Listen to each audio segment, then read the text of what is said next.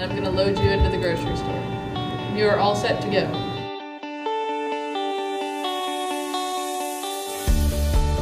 The real limiting factor has been an inability to overcome what we would call the locomotion problem. When you have a traditional virtual reality application, you have a mismatch between visual information and sensory information. That causes this nauseous feeling. That's where we started to really do the research trying to combine different systems together, like the omnidirectional treadmill with the virtual reality application.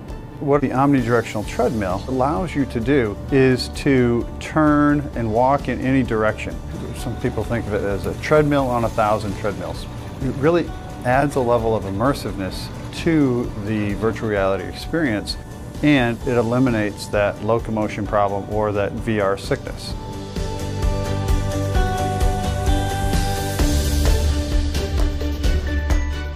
Changes in what we would consider instrumental activities of daily living actually precede the clinical diagnosis of neurological disease by five to seven years. Going to the grocery store, driving a car, using public transportation, paying bills. That's a motor and a cognitive component together. When we were developing the Cleveland Clinic virtual reality shopping task, we really tried to replicate what someone did in a real grocery situation. For example, as you're navigating the store, you're avoiding other people in the store. You have to look at the list. So how much time are they spending looking at the list?